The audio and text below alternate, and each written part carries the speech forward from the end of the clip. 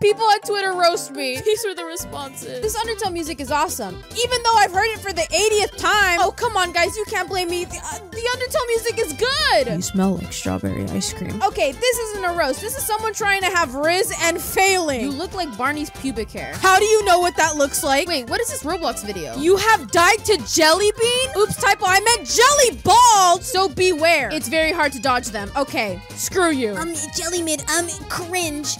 Um, there's uh, zero dollars in your bank account. I bet you couldn't beat Sans from Undertale, so you deleted the game and gave yourself a participation award. Okay, come on, man. The Sans fight is really hard. Like, I couldn't beat it. Bro looks like an Undertale character on budget. How how do I look like an Undertale character? I'm I'm not even pixelated. Yo, mama. I would do that, but I would be disrespecting the elderly grandma, so sorry. Elderly? I'm 18! You'll be bald soon. Is this a threat? You're making it sound like somebody's gonna come into my house and shave my head. Leave my hair alone! una.